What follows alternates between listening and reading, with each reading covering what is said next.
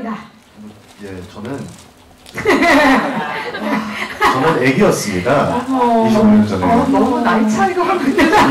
이건 너무 예, 저는 예, 아, 그 선배님 아직도 젊으셨지만 저는 애기였습니다. 할머니 여기 예. 우리 예. 김윤진 씨가 어, 굉장히 의상과 이렇게 그 분위기와 TPO가 잘 맞았다면 네. 우리 어 우리 어린 옥대견 씨 네. 상하이 선글라스 카 하나도 맞는 게 없습니다. 지금.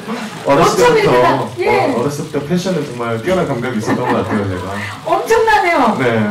어, 저 바지에 지금 예. 예, 프린트 베스트에 분명히 이때는 저희 어머니가 입혔을 텐데 저희 가족이 그냥 패션 감각이 뛰어난 걸로 하죠. 아 근데 약간 네. 히어로 같네요 정말 네. 느낌이 이 칼 되게 좋아했었던 걸로 기억합니다.